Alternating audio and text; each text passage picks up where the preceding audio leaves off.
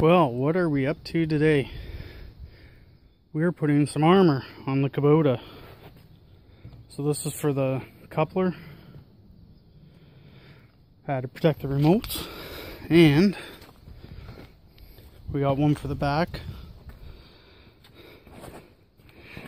And this just,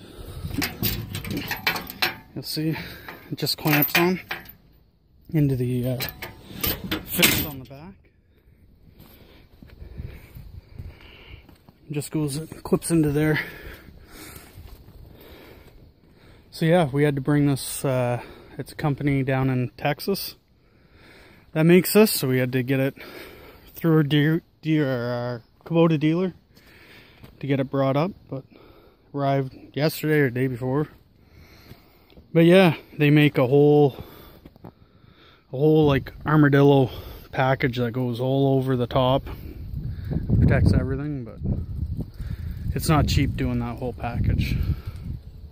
So we're starting off with just this stuff first. Maybe we'll get some more. I think there's a little light, one that goes over and protects the light as well. I think we're gonna get later on, but for now, this is what we're doing. But that's how she goes.